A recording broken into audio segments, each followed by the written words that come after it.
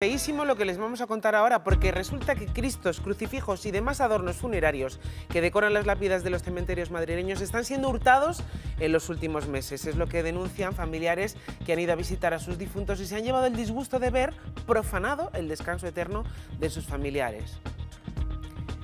Y nuestra compañera Sonia ha podido hablar con Mercedes, que es una de las víctimas que nos ha contado lo que supone para ella pues, que sucedan estos actos vandálicos y además criminales.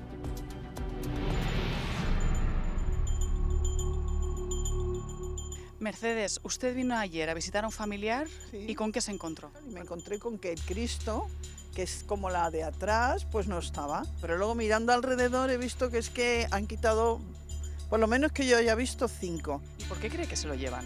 Yo creo que por el peso. O sea, un Vía Crucis no creo que vayan a hacer. La tumba esta está mi tío, que es de 1959, y hasta ahora nunca había pasado. Y por alrededor yo no había visto que había pasado tampoco.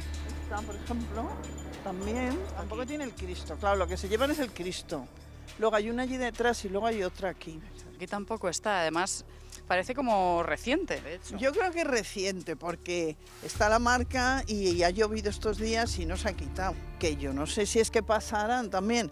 Los que ven que se mueven, pues se los llevan y los que ven que no se mueven, pues los dejan porque no se quitan así como así, ¿eh? que está sólido.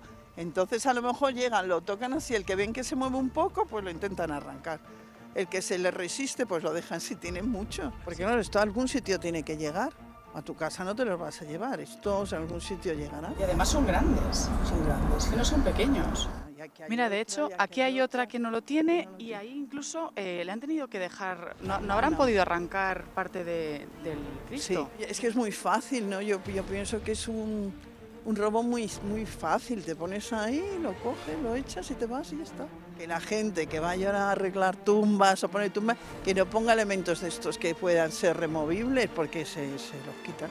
O sea, que pongan todo pegado o a ser posible de una pieza entero. Claro.